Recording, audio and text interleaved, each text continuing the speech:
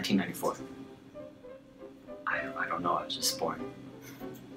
There has been several, I think, and um, yeah, I think um, I think before the final of the Tchaikovsky, um, it was really frightened. And, yeah. When I finish the concert and then if I can finally enjoy a meal, it's really nice. Hyphens. And solfaing motor, violin, and um, also got a computer. Yeah. Traveling. Noises in New York City. a chef. Breakfast. I don't drive.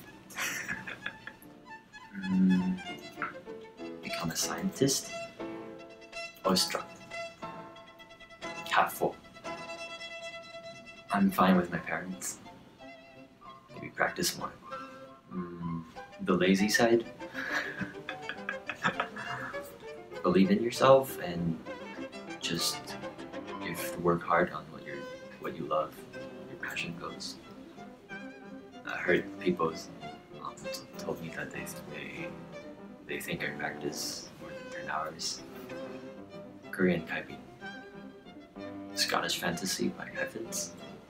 Um, the recent recording I made with uh, Rohan de Silva, which we played the Mozart Sonata, um, Wieniawski variations on original theme, and um, one of the most challenging solo repertoire on violin, The Last Rose of Summer by Ernst.